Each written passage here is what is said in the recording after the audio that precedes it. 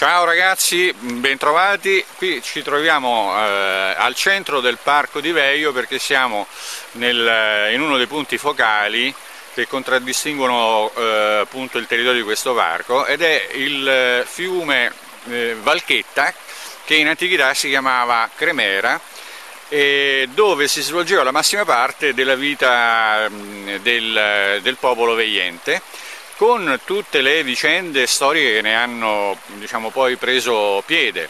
E cioè eh, l'evento più importante è stata la battaglia contro i Fabi del 494 a.C., 474 a.C., quando eh, Roma decise di muovere guerra contro Veio per una faccenda di sconfinamento di armenti. Quella era la scusa. La ovviamente. scusa, la scusa. Eh, c'era la fase espansionistica di Roma, Infatti. solo che per oltre 200 anni Roma si è trovata Uh, al, al, nord del, del, a nord del suo territorio un nemico forte altrettanto quanto lei. E, Tanto è vero che l'accorpamento del, dello spirito degli Etruschi veienti è stato una, come dimostrato da molti scrittori, anche scrittori della tradizione, è stato uno degli elementi fondamentali per la crescita lo sviluppo dell'impero romano. Certo, questa certo. spinta interiore certo. no, che fa nascere da questa piccola città, da questo piccolo coacervo di persone, eh, per lo più pastori o quant'altro, eccetera, questa spinta. Certo. enorme spinta verso l'esterno. Eh. Certo. Ma eh, per riprendere il discorso eh, di prima, eh, eh, a indicazione diciamo, e a motivazione di quello che è stato detto, va rilevato che Roma nella sua prima fase diciamo, di crescita si è espansa soltanto a sud, a danno degli altri popoli che eh, c'erano eh, sul lato sud de, de, de, a partire dal Tevere e a scendere verso, verso la Bassa Italia. Quindi eh, qui ha trovato un freno eh, nella parte nord perché c'era questa entità che per circa 200 anni e ben 14 guerre combattute eh, ha resistito all'espansionismo eh, romano e qui appunto in questo luogo eh, diciamo sacro perché tutti i fiumi eh, allora erano sacri come dovrebbero, essere, come dovrebbero essere sacri anche oggi e quindi andrebbero tutelati. Oggi sono sacri solo i fiumi di petrolio. Eh certo, fiumi, ma anche altri fiumi. Ah, ma là aspetta, più che sacro so, sono, sono eh, diciamo eh, quotati in borsa, il, sì. che, il, che, è ancora peggio. Allora. Ma quindi... la borsa è un tempio, è, un tempio, tempio è sempre stato il tempio. Non solo, il tempio di Rossignori è come ampiamente dimostrato dall'architettura delle borse sono state Bravissimo. tutte costruite a forma di tempio. Non solo. Il che significa perché per loro signori quella è la vera religione. Non solo, c'è di più, per oltre cent'anni la borsa di Roma era dentro il tempio romano, proprio un Cent'anni, fino all'altro ieri. Fino all'altro ieri, vabbè, per, eh, eh, ed era le, proprio l'esemplificazione... A, a, di Pietra, a Piazza, a di, Piazza Pietra. di Pietra. esattamente, Piazza di Pietra perché c'era il tempio, adesso mi sfugge chi era dedicato... Eh? Ah, Adriano, esattamente. Eh, quindi ecco, questo per dirla, eh, però per tornare al luogo dove siamo, quindi eh, noi qui eh, abbiamo eh, eh, una realtà, diciamo, di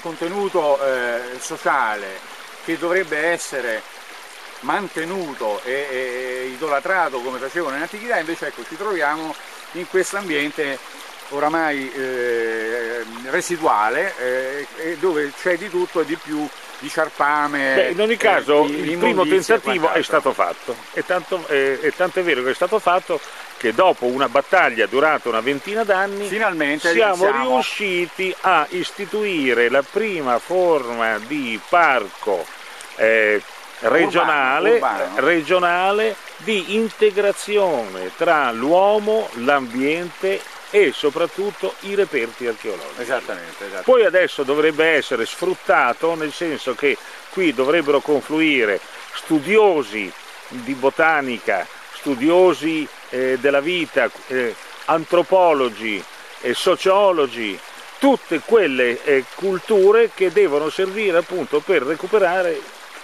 infatti, il suo interesse all'antichità. Infatti io scrissi 6-7 anni fa un libro che trattava proprio di questi luoghi ed era improntato sulla diciamo, focalizzazione del, di una tipica manifestazione del luogo, eh, caratteristica del luogo, che è eh, la eh, eh, cunicolazione delle acque, cioè praticamente siccome parlavamo prima di, di eh, clima atlantico eh, che, si sta instaurando. che si sta instaurando, il clima atlantico è piovosissimo, circa il triplo di quello che eravamo abituati fino a due o tre anni fa, quattro anni fa.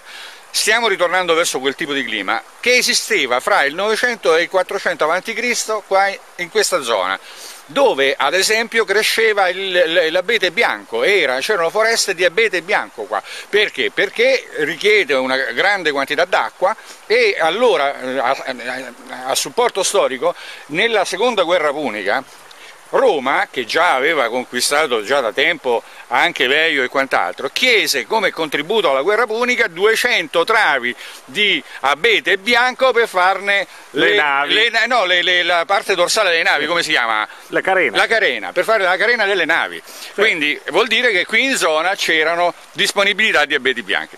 E quindi anche in epoca eh, attorno al 200 avanti Sì.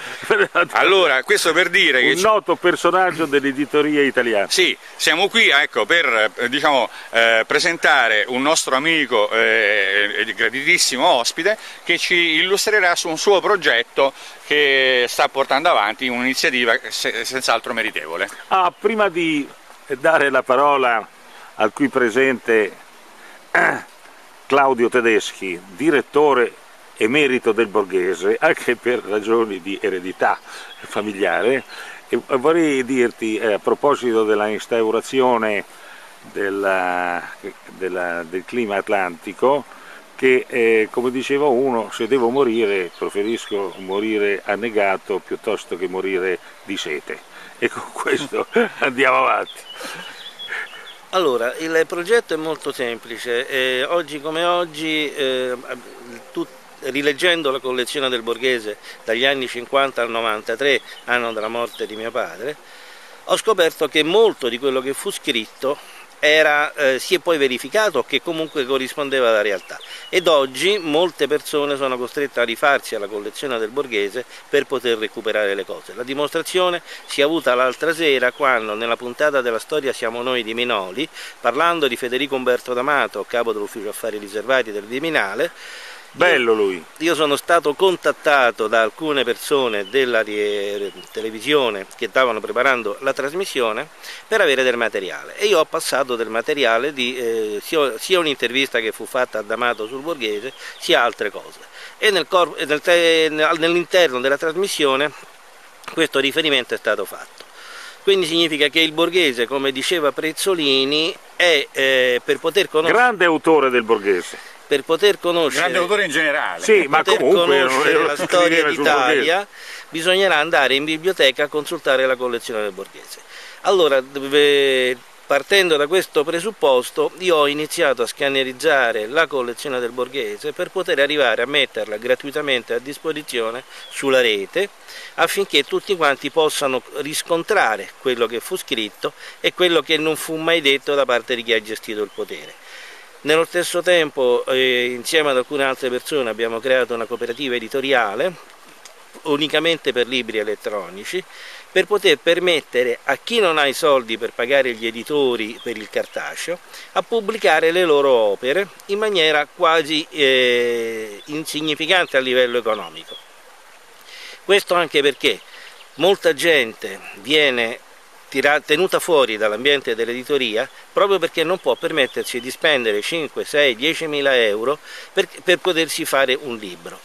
Allora in questa maniera con i libri elettronici le spese sono ridotte all'osso e noi possiamo cominciare a portare avanti un certo tipo di eh, editoria indipendente, schierata su posizioni anticonformiste, antipotere economico, politico, socio-economico e chi più ne ha più ne metta, e andare avanti e spiegare ai giovani, che ormai giovani insomma anche gente di 40 anni, che navigano sulla rete. Che sono ancora giovani, poveracci, perché non avendo potuto iniziare a lavorare, esatto. si devono considerare per forza sì. giovani. Apprendisti. Eh, apprendisti, stregoni. Anche, anche perché io, per esempio, a parte il fatto la questione del lavoro, eh, nota di costume, l'altra sera Giovanotti durante un concerto si è rivolto ai giovani che stavano nella platea e, eh, scusate eh, il, la frase, ma così è stata detta, Giovanotti gli ha detto alzate il culo e andate a lavorare. Sarebbe ora. Allora, se eh, c'è, un personaggio come Giovanotti che si permette, o comunque ha il coraggio di dire una cosa... Diciamo di, che ha il coraggio. Che ha il coraggio di, di, a fare queste affermazioni,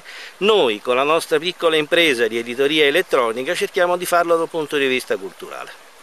Ok, Bene. grazie e a presto.